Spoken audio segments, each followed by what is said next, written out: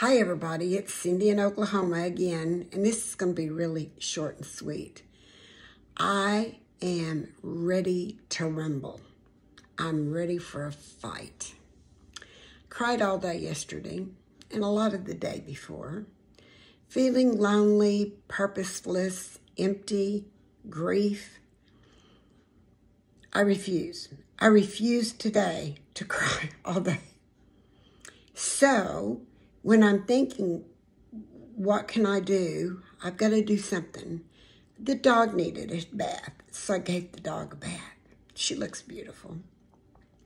Then I went in and I put on a little tiny bit of makeup, which is not the normal program here, but um, I am going to go somewhere and eat lunch. Hopefully, I will go where there's lots of families, lots of activity, um, that's always seems to lift my spirits when there's a lot of children and parents, you know. But 4th of July, I want to wish you a wonderful 4th of July to begin with.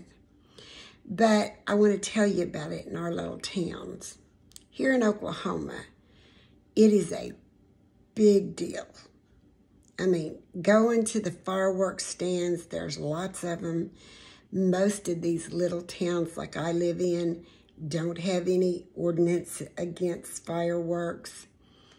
Uh, went by one at the Masonic Lodge and there was literally two big round tables of people sitting out under shade, visiting, because I'm sure they all said, let's go up to the fireworks stand and see who's up there and what's going on. That's the equivalent of going to the coffee shop. Anyway, it was real hard. I took a separate car. I sobbed to the point I didn't think I was going to make it home. But like I said, when I woke today, I said, no, I can't do this again. I, my heart is hurting. I can't do this. I'm ready to fight it. So today I'm going to fight it. Tomorrow I mean, well, tomorrow I have to because the big celebration is happening at our house. It was my husband George's favorite holiday.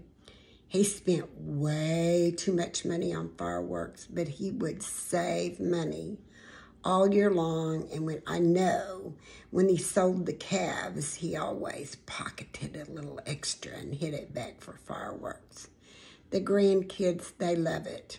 They, you know, I went with them because they love, I mean, it's a tradition for my husband and I to go with them and their parents. And they like my billfold.